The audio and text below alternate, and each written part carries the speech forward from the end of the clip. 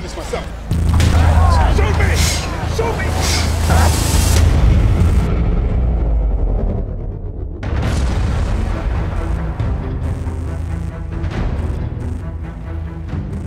You okay? I'm fine.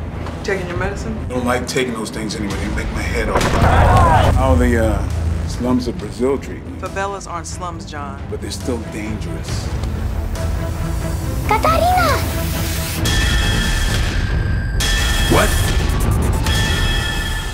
Apparently, she was doing social work for an American nonprofit in the favelas. Who the hell would do this?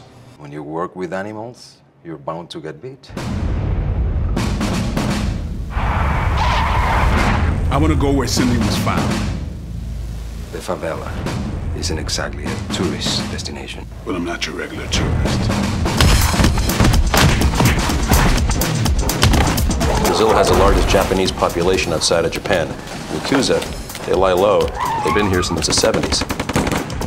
Get the cops over here. Tell them not to radio it in. Wait a second, what are you gonna do until they get there? Taking the scene. I was afraid of that.